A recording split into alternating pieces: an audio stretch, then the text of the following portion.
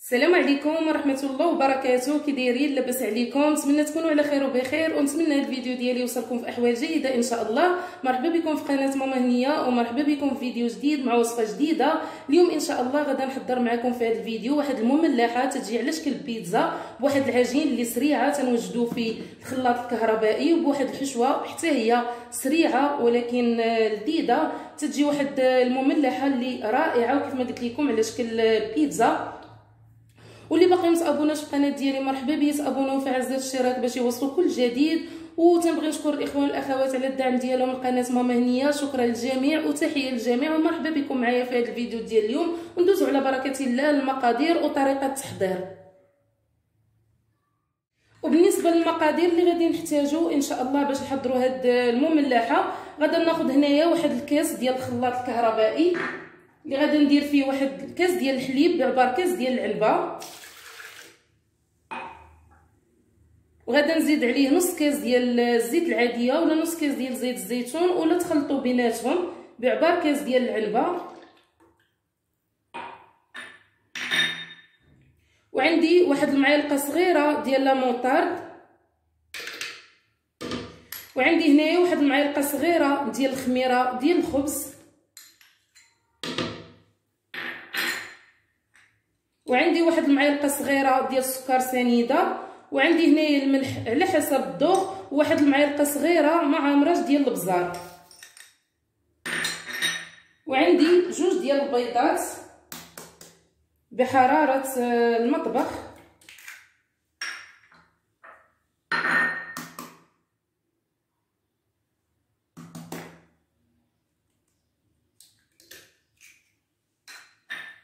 وغادي ندير واحد شوية ديال الزعتر. بحال هكاك واحد المعلقة صغيرة عامره ديال الزعتر. وغادا نطحن هاد المكونات ونرجع معكم إن شاء الله.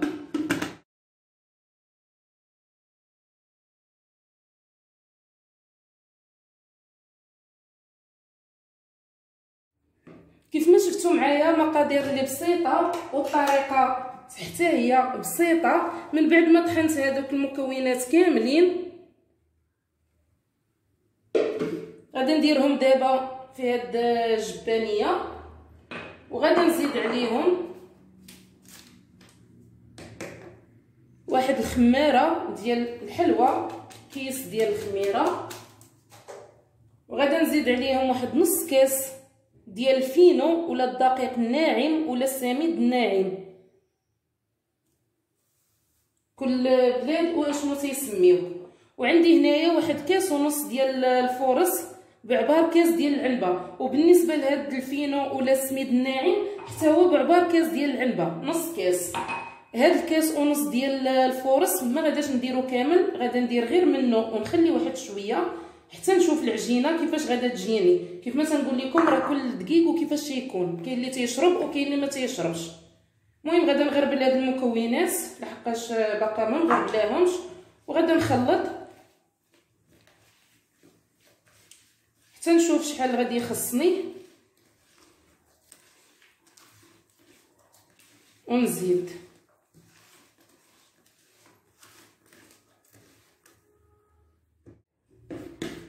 غادا نكمل التخلاط ديال هاد العجينة اللي عندي. سمحوا لي نمشي غسلت يدي. نزيد دابا من الفورص ولا الدقيق الأبيض كل بلاد وشنو كل بلاد وشنو تيسميو الحوايج.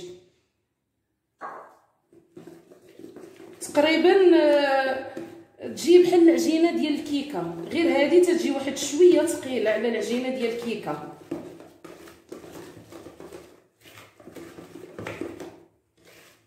راه بالمجموع جوج كيسان ديال ال force ولا ديروا كيس ونص كيف ما درت أنا كيس ونص ديال ال force ولا الدقيق الأبيض وتزيدوا معاه نص كيس ديال الفينو. بعبار كيس ديال العنبه بغيتو ما ديروش الفينو ولا السميد الناعم ديروا غير جوج كيسان ديال ال force تتجي على هذا الشكل بحال هكا. ودابا غادا نخليها ترتاح واحد 20 دقيقة إن شاء الله. ومن بعد ما صايب العجينه كيف ما شفتوا معايا وخليتها ترتاح كيف ما قلت لكم غادي نخليها ترتاح واحد 20 دقيقة ولا 30 دقيقة على ما صوبت الحشوة. بالنسبة للحشوة أنا درت هنايا واحد جوج فلفلات اللي متوسطين خضرين وقطعتهم على هذا الشكل بحال هكا على شكل مربعات. وبالنسبة للفلفلة الحمراء عندي غير فلفلة وحدة هي اللي قطعت. حتى هي هكا على شكل مربعات وعندي هنايا واحد البصلة متوسطة اللي شلطتها ومع واحد الدريس ديال الثومه اللي أنا غير قطعته ما حكيتوش. وعندي هنايا الزيتون خضر مقطع بحال هكا. وعندي الكفتة. وعندي الزعتر. وعندي صلصة ديال الطماطم بحال هكاك واحد المعلقة كبيرة عامرة. وعندي تقريبا واحد ربع كاس ديال الزيت العادية ولا زيت الزيتون. بالنسبة للتوابل اللي غادي نحتاجو عندنا الملح على حسب الذوق وعندي هنايا واحد نص معلقة صغيرة مع امراج ديال الكركم ولا الخرقوم عرق مطحون وعندي هنايا معلقة صغيرة مع امراج ديال البزار. وعندي هنايا في التحميره واحد المعلقة صغيرة عامرة ولا البابريكا. وعندي هنايا على راس معلقة الحار. عندي أنا هاد الحار الكرم درت منه بحال هكا على راس معلقة صغيرة. وعندي الكوزة اللي غادي نحك منها شوية. دوزو على بركة الله الطريقة. كيفاش غادي نديرو هادشي المهم غادي ناخذ مقلة اللي غادي ندير فيها البصلة والفلافل والثومه ونخليهم يتقلاو في الزيت والملح شوية. عاد فاش غادي نزيد عفوا عاد فاش غادي نزيد عليهم مكونات أخرين. غادي ندير دابا غير الزيت والملحة.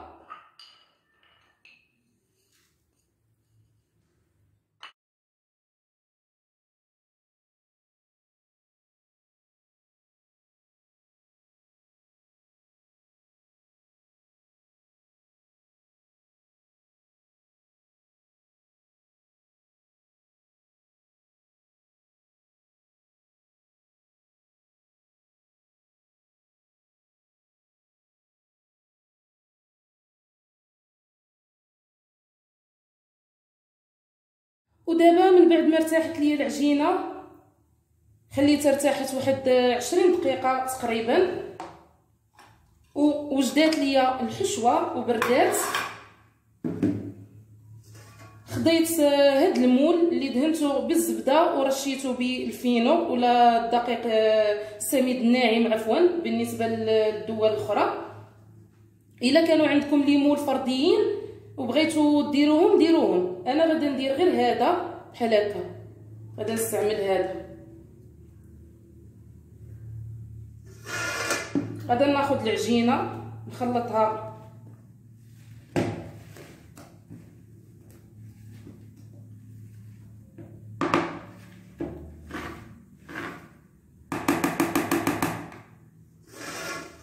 غادي ناخذ المول.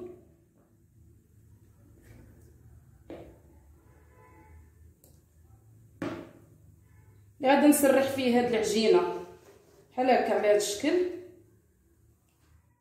ودابا من بعد ما سرحت العجينة في هاد المول غادا نستفق منها هاد الحشوة. حاولوا تستفوها بحال هكا تسرحوها فوق منها. وفي هاد الأثناء راني دايرة الفران يسخن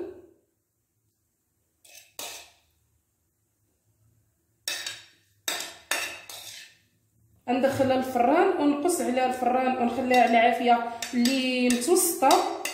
ونخليها حتى طيب على خاطرها الفوق وتبان لي بدات تحمر من الجناب. عاد باش نهبطها لتحت باش تحمر ليا من الفوق شوية.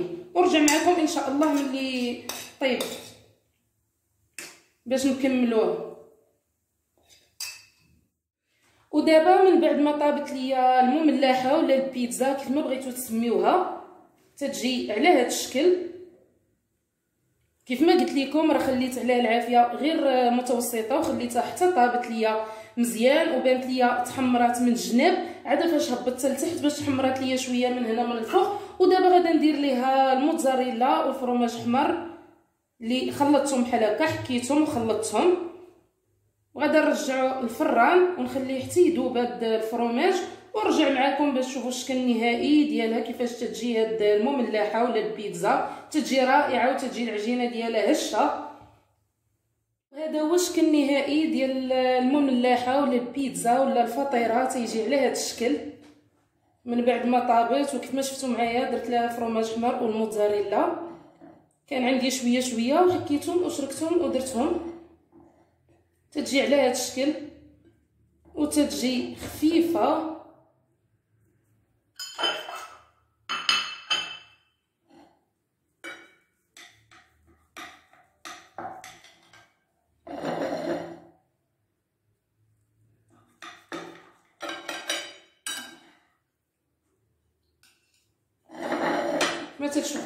تجي بحال هكا.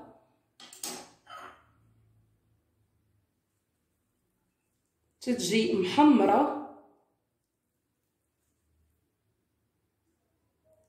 زينتها بالزيتون كحال وزينتها بهاد المطيشه سوغيز بحال هكا درت طريفات ما كانوش متوفرين عندكم بلا ما ديروهم.